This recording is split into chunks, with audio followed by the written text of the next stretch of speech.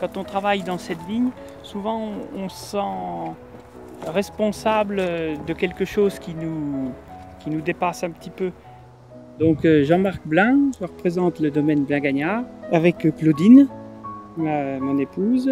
Nous sommes euh, installés depuis 1980 et c'est une exploitation familiale typique bourguignonne.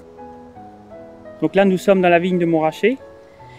C'est le fleuron de la famille grâce au grand-père et, mon beau-père qui ont pu acquérir cette euh, parcelle en 1978.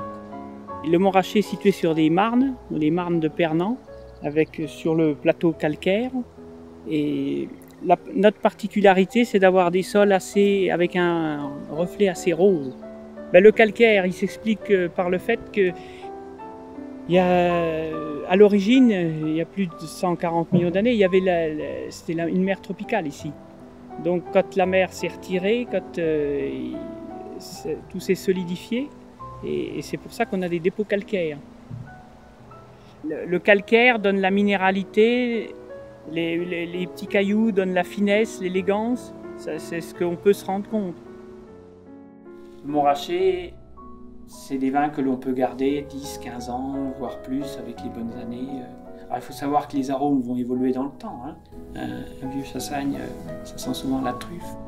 Mais c'est une gamme différente, mais tout aussi intéressante.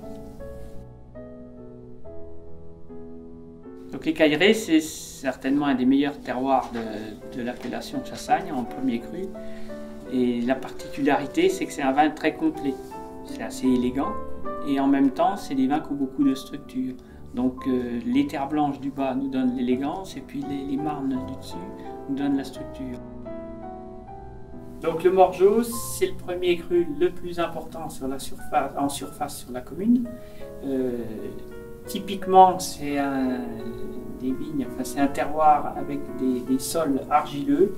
Donc là, on n'a pas du tout de, cailloux, de petits cailloux. C'est des, argiles rouges. Et donc, ça donne des vins, pour les vins blancs, ça donne des vins un peu plus gras, un peu plus riches, des vins faciles d'accès. On en a plein la bouche, on dit on a à manger avec les morgeaux. Et pour les vins rouges, ça donne des vins très tanniques, très colorés l'archétype du chassagne rustique sauvage. Ben, j'aime bien le côté de ce métier où on crée quelque chose complètement. On part de. N'y a rien de défini, il n'y a rien de mathématique, c'est rien de. C'est beaucoup de bon sens et d'observation. J'aime bien ça.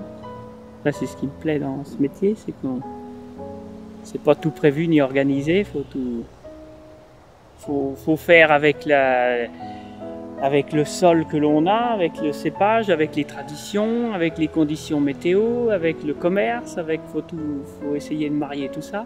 C'est ce qui est intéressant.